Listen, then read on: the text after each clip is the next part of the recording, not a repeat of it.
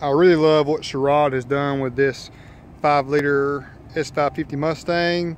First of all, we have painted stripes, which is a definite benefit there. It's got crystal metallic paint in it also, like a grayish color. But I also am loving the Shelby wheels. This wheel pattern was seen a lot on the Stage 3 uh, Roush Mustang, especially on that, you know, um, 13 and 14 body style. I think it just looks great on the Mustang platform. And it really just sets this one off also.